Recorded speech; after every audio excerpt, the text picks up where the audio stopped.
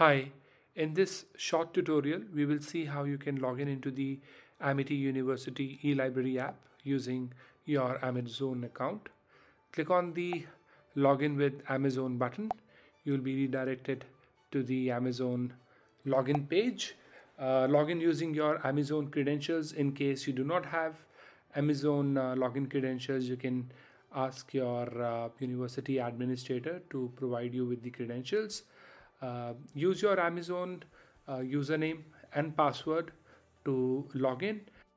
The app will take a couple of seconds to authenticate you, and once you are logged in, you'll be brought back to the app on the home page, and you can browse the Amity University eLibrary collections by discipline or by publishers.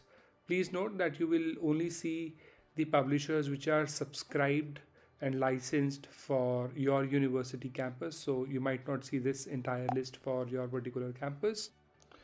The rest of the app is pretty easy to use and you can access the vast collection of e-resources from the app.